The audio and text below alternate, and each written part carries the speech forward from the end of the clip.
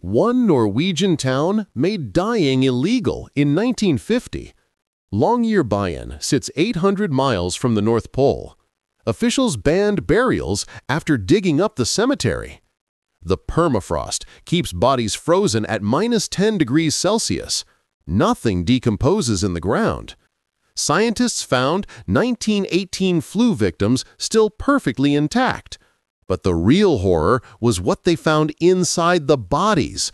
Live bacteria survived frozen for 75 years. The 1918 pandemic virus was still viable. If you're terminally ill in Longyearbyen, they fly you to mainland Norway. The town can't risk future disease outbreaks. Permafrost acts like a biological time capsule. Bodies from the 1917 mining accident are still there, frozen under six feet of ice. What else is preserved under Arctic ice? Follow for strange laws daily.